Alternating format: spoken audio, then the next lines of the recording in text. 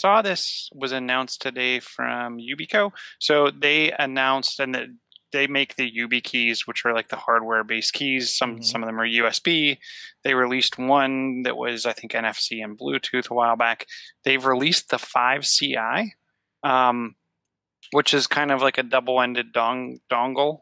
A double-ended dongle. A double ended dongle. One side is Lightning and one side's USB C. Oh, let me get a look a closer look at that. Oh, So I thought it was pretty cool. So it works with password managers like 1Password, Dashlane, LastPass, Mhm. Bitwarden.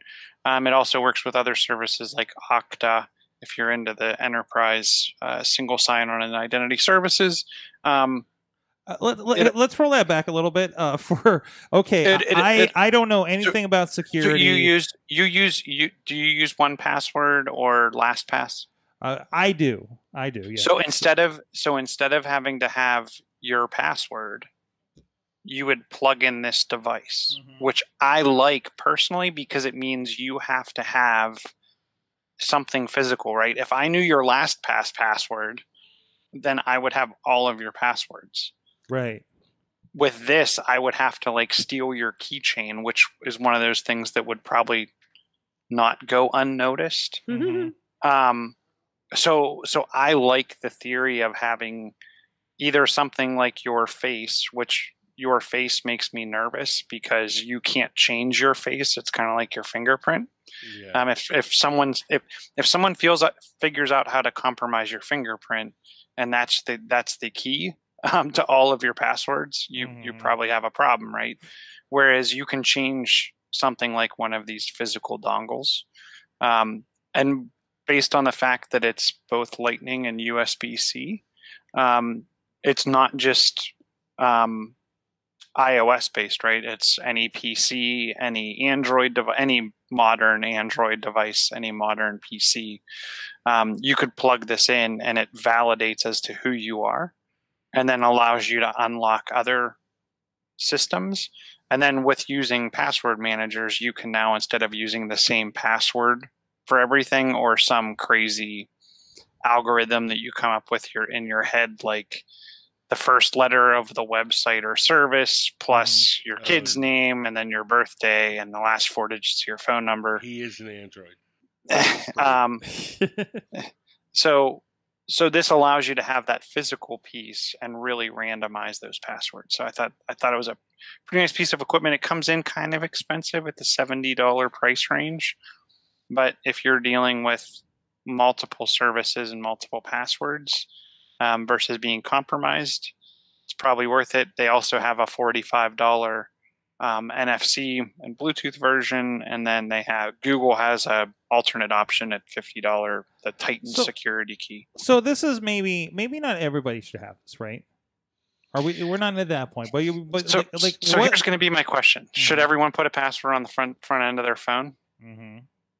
I mean, I think so. I think my, so too. My mom doesn't. I don't know why, but Well, we I don't. I don't think my mom does. does either. Yeah, Yeah. exactly. Yeah. yeah, yeah. but so I would say if you if you have more than just your Facebook and you're worried about your identity and your passwords, then I would say we're getting to a turning point of whether you're you were involved in the um, Home Depot Target Mhm. hacks, if you were involved. Okay, so if you're worried any- about that, if you're worried about all these hack things that are coming through, Yep. uh, we just got a message from like I don't know Capital One or something the other day, uh, something like that, right? Like i- i- if if you're getting those messages and you are concerned, this would help dissuade those concerns. Well, Uh, maybe, right? not so much the target No, those kind but of concerns, but no, but yeah, I guess I look at it as more on the if you're worried about your identity and you care about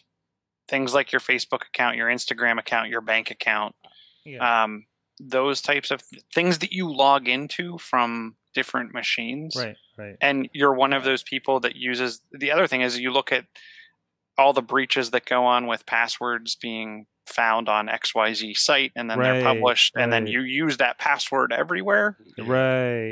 well now I have access to all so, your but, uh, stuff. but, you know, if you're the everyday person that you're concerned about this, but also I think if you consider yourself a high value target, like you guys work in security a little bit with with uh, uh, Big Bank International, or you're a newspaper reporter or, or something like that, somebody that is going to be targeted with something like this, that would that would be helpful.